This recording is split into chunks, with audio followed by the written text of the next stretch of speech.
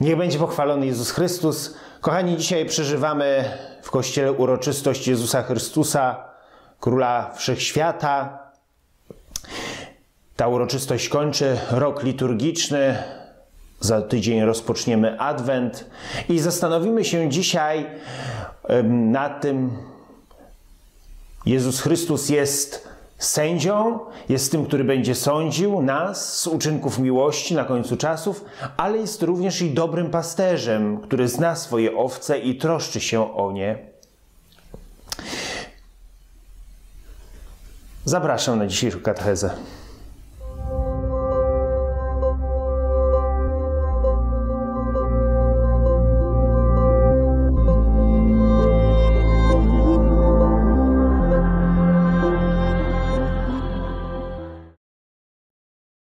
Z Ewangelii według świętego Mateusza. Jezus powiedział do swoich uczniów: Gdy syn człowieczy przyjdzie w swej chwale, a z nim wszyscy aniołowie, wtedy zasiądzie na swoim tronie pełnym chwały i zgromadzą się przed nim wszystkie narody, a on oddzieli jednych ludzi od drugich, jak pasterz oddziela owce od kozłów. Owce postawi po prawej, a kozły po swojej lewej stronie. Wtedy odezwie się król do tych po prawej stronie.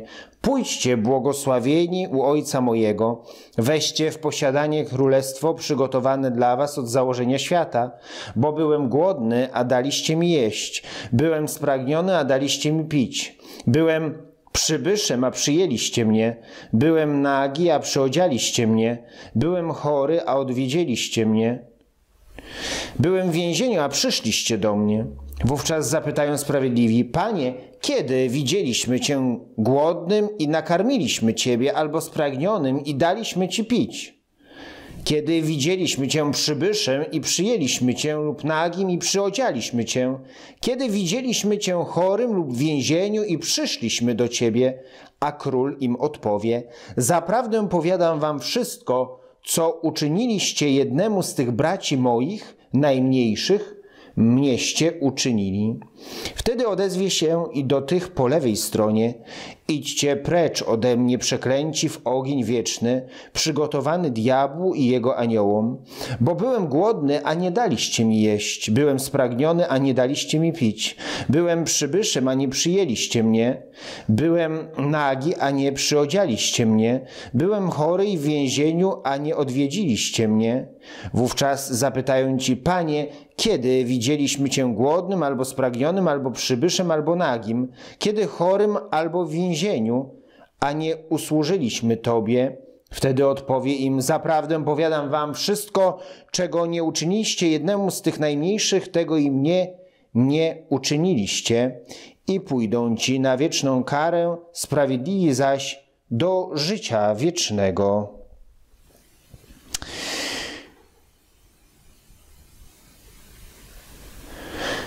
Kochani, ta dzisiejsza uroczystość wskazuje nam na Jezusa Króla jako króla całego wszechświata. Również dziś szczególnie możemy się zapytać samych siebie, czy Chrystus jest moim królem, czy jest Panem mojego życia.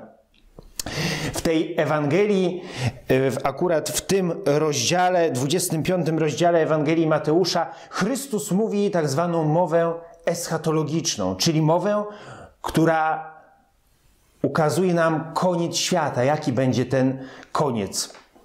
Że owce będą oddzielone od kozłów. Czyli Pan Jezus pokazuje, że będzie pewna separacja ludzi dobrych od ludzi złych. Ta separacja będzie polegać na tym, że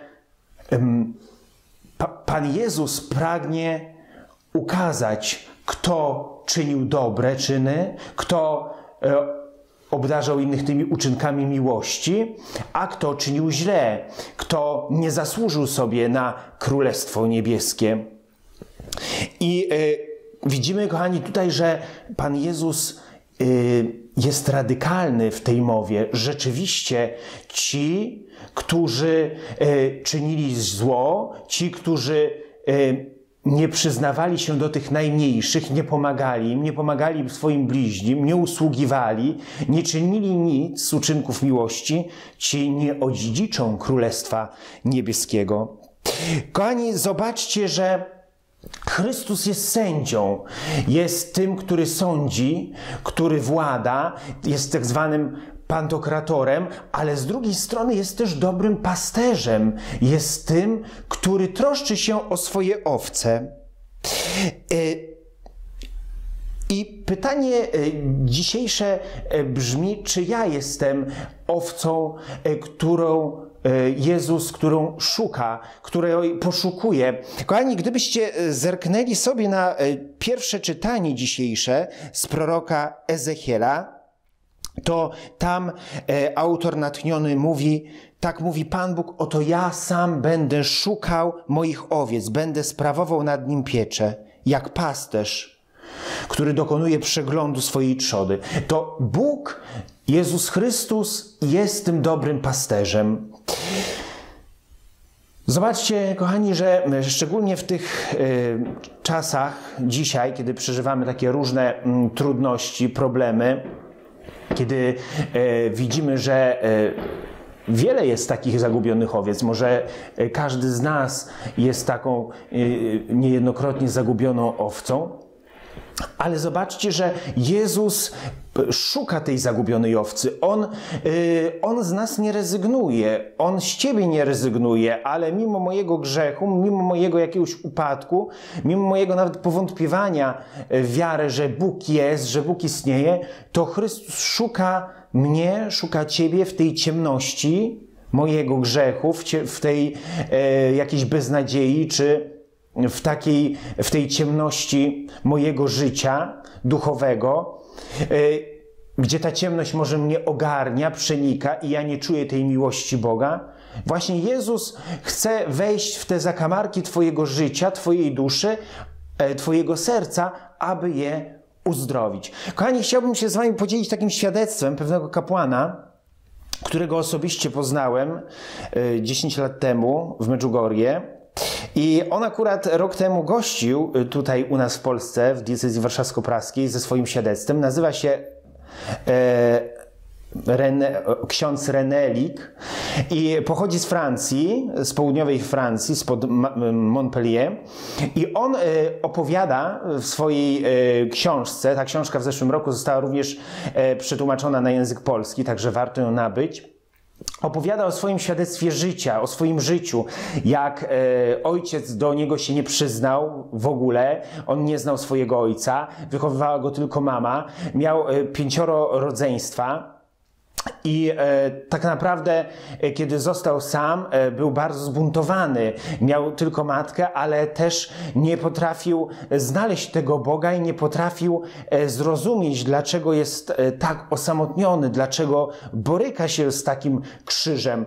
No i e, w pewnym momencie swojego życia, kiedy kiedy mm, zaczynał ten wiek jako nastolatek, już młody chłopak, jego mama poznała innego mężczyznę. No i ten mężczyzna bardzo mu imponował. E, powiedział nawet, że da mu swoje nazwisko i że będzie go traktował jak syna. No i on był dla niego takim wręcz autorytetem przez pewien czas jego dzieciństwa. Ale co się okazało? Ten mężczyzna był zamieszany w różne porachunki. Okazało się, że jest gangsterem i tak naprawdę chciał e, młodego chłopaka René wychowywać w tym duchu, aby on też jakby był taki sam. I kiedy ten młody chłopiec zobaczył, że jego e, ten przybrany e, ojciec znęca się nad mamą i tak naprawdę widzi w tym człowieku wielkie zło i przemoc, to e, zdystansował się do niego i zobaczył, że tak naprawdę nie ma w tym człowieku miłości, pokoju. I dobra, ale wręcz przeciwnie. E, wszystkie te cechy osobowości, charakteru, to co może e, sam pomyślał, że tak naprawdę Nigdy by się nie spodziewał od niego, że to, to, to zło, to wszystko może od tego człowieka wypływać, a jednak i zawiódł się na nim bardzo. I opowiada y, w swoim świadectwie między innymi taką scenę, y, wiele scen, kiedy to właśnie ten przyrodni ojciec znęcał się nad jego mamą, y, bił ją i w pewnym któregoś wieczoru przyszedł do nich, oni się bali bardzo, że coś się stanie, przyszedł, i pożegnał się z nimi. Nic złego nie mówił, nie robił, ale pożegnał się z nimi. Wyszedł na zewnątrz i w pewnym momencie wziął pistolet i strzelił sobie prosto w serce. I ten młody chłopak, René, zobaczył to i nawet mówi w swoim świadectwie, że wtedy, w tym momencie nawet go nie żałował, bo widział, jaką krzywdę uczynił y, jego rodzinie, jego matce, ale też na pewno innym ludziom. Tylko, że mimo wszystko od tego momentu młody René chciał zupełnie, um, nie chciał zmienić swojego życia, wręcz przeciwnie, był jeszcze bardziej zbuntowany, popadł w złe środowisko. Mało tego, sam mówi w swoim świadectwie, że sam podniósł rękę na swoją matkę, a więc też był pełen agresji, przemocy i nie znał, nie doświadczył w tym momencie miłości, miłości Pana Boga. Dopiero później, przez doświadczenie pewnej wspólnoty charyzmatycznej i doświadczenie człowieka, który również miał bardzo ciemną przeszłość, przez doświadczenie modlitwy wstawienniczej i spotkanie charyzmatyczne, e, ten młody, nastoletni chłopak doświadczył Bożej miłości. I jak e, sam mówi, e, akurat w tym momencie tej modlitwy stawienniczej dostał słowa z księgi proroka Ezechiela z 11 rozdziału. Jest to 11 rozdział proroka Ezechiela, 19 werset. Dam im jedno serce, i wzniosę nowego ducha do ich wnętrza, z ciała ich usunę serce kamienne, a dam im serce cielesne. I od tamtego momentu ten młody chłopak prag, zapragnął poznać człowieka o imieniu Jezus. Powiedział, że chce o nim wszystko wiedzieć. Mało tego, później właśnie przez wspólnotę charyzmatyczną, przez to, że się udzielał bardziej w kościele, przez to, że chciał poznawać Jezusa, później wstąpił do seminarium duchownego, no i został wspaniałym kapłanem. E, pomimo tego krzyża, pomimo, pomimo, tego cierpienia, mało tego, pomimo takiej pustki, e, tego, że e, miał, nie miał ojca, a później miał przybranego ojca, który był no, przestępcą, gangsterem, to mimo to Bóg obdarzył go taką łaską niesamowitą i miłością, że dzisiaj jest wspaniałym duszpasterzem dla młodych ludzi, dla wszystkich e, we Francji i jest bardzo znanym duszpasterzem, kapłanem, e, ksiądz Renelik i, e, i naprawdę, i zobaczcie kochani, że Pan Bóg może poradzić sobie z każdą pustką w naszym sercu. Mogę być tą zabłąkaną owcą, mogę być czarną owcą, ale Bóg, Jezus szuka mnie i chce mnie doprowadzić do swojego królestwa. Prawda? E, Chrystus jest sędzią i chce, oczywiście chce, abyśmy mu byli posłuszni, abyśmy wypełniali Jego, Jego słowo, Jego przykazania, ale też jest tym dobrym pasterzem, który troszczy się o każdą owcę, który szuka nas. Kochani, i kończąc e, tą historię z, e, z księdzem René bo to jest tylko część historii, on nie wiedział o swoim biologicznym ojcu, dopiero później się dowiedział i wyobraźcie sobie, kochani, że jest rok 1980 i w tym roku udaje się do Lourdes, aby tam e, modlić się e, również w intencji swojego powołania. I e, po jakimś czasie, po pięciu latach, w 1985 roku, on spotyka swojego biologicznego ojca y, i dowiaduje się wtedy, że jego ojciec pił, że był alkoholikiem, że tak naprawdę jego życie było naznaczone chorobą alkoholową i on wyrzekł się tego syna, bo nawet chyba nie miał świadomości, nie był w stanie podjąć jakąkolwiek, jakiekolwiek działanie i odpowiedzialność za swoje dziecko. I e, ten jego ojciec biologiczny później mówi mu, powiedział mu na spotkaniu z nim, że właśnie w 1980 roku on również udał się do Lourdes, do Matki Bożej, z tą intencją, aby szukać swojego syna i z intencją uzdrowienia z alkoholizmu. I zobaczcie, kochani, ksiądz René mówi to w swoim świadectwie, że właśnie w tym samym roku on pojechał do Lourdes modlić się o swoje powołanie. I w tym samym momencie w Lourdes, może obok gdzieś stał ten człowiek, jego ojciec, który modlił się, aby odszukać syna i aby i aby y, Bóg uzdrowił go z choroby alkoholowej. Dopiero później, po pięciu latach, kiedy się spotykają, mówią to sobie nawzajem i jeszcze bardziej doświadczają Bożej miłości, jak to Pan Bóg sprawił, że właśnie w tym samym momencie y, uzdrawia i jedno, i drugie serce.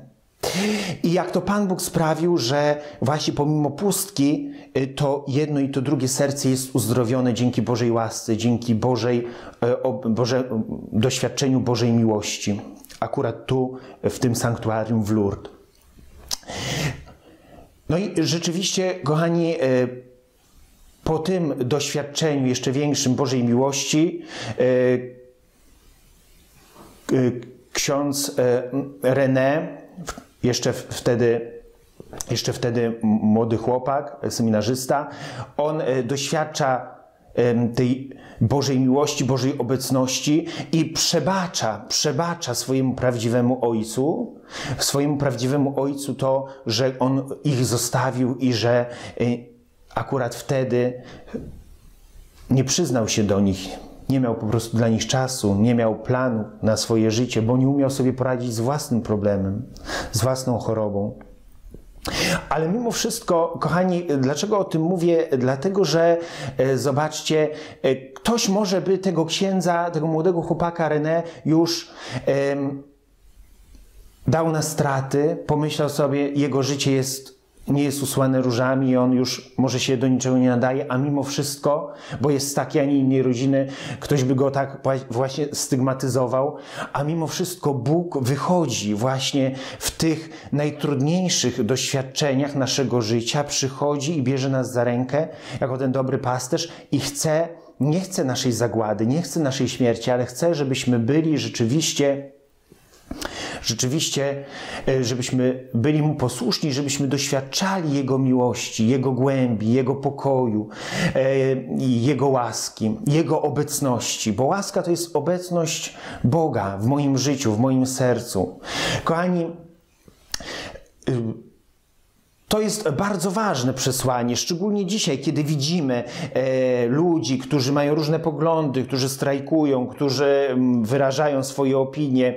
E, my, jako ludzie, którzy należą do wspólnoty charyzmatycznej, ewangelizacyjnej, nie możemy nikogo skreślać, nie możemy nikogo osądzać i potępiać, ale musimy trwać w modlitwie, na modlitwie w komunii serc i chcieć właśnie z jednej strony tych ludzi wychodzić, a z drugiej strony, e, z drugiej strony szukać takich zagubionych owiec, bo Chrystus pragnie, abyśmy byli Jego narzędziami i modlić się za nich modlić się w tej intencji, żeby ich serce zostało mocą Ducha Świętego nawrócone, przemienione, aby Bóg dał im właśnie, tak jak czytamy, tak jak ksiądz René usłyszał na modlitwie wstawienniczej te słowa, żeby Bóg dał im te serce z ciała. Może, kochani, my też czujemy czasem, że mamy te serce kamienne przez jakiś grzech, przez jakieś nasze upadki, przez jakieś też nasze wątpliwości. Bóg nam daje to serce z ciała, abyśmy abyśmy się nawet nie zastanawiali nad tym, że Bóg mnie nie kocha, ale Bóg Cię kocha i Bóg pragnie tego, abyś się podnosił razem z Nim ze swojego upadku. Bóg Cię kocha i pragnie Ciebie odszukać.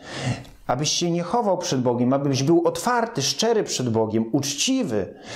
A Bóg zawsze dopełni swojej obietnicy i będzie nas szukać i będzie, nas, będzie nam towarzyszyć w tych ciężkich chwilach naszego życia i będzie chciał, abyśmy my przemieniali się dla Niego i abyśmy służyli innym, służyli bliźnim, nie zapominali o tych, którzy, którym, e, o których inni zapomnieli, spisali ich na straty.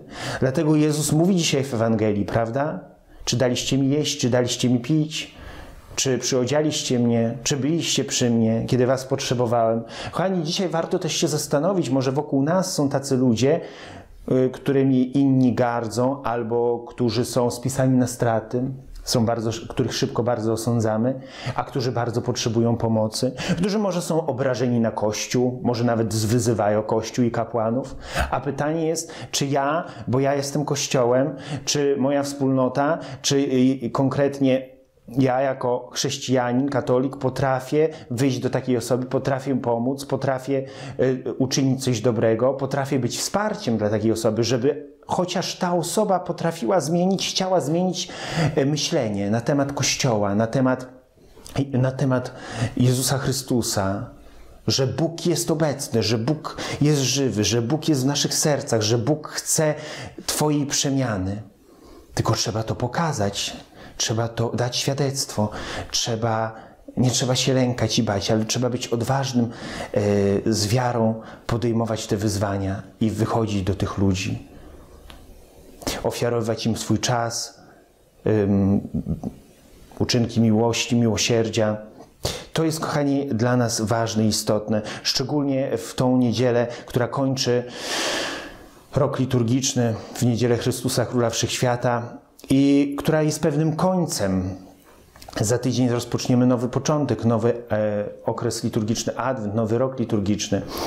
Także e, życzę Wam tej odwagi, kochani, i tego zaufania, i, i pewności, że Jezus Was kocha, że Jezus jest przy Was, szczególnie w tych trudnych chwilach, i że Jezus szuka nas, bo jest naszym dobrym pasterzem. Szczęść Boże.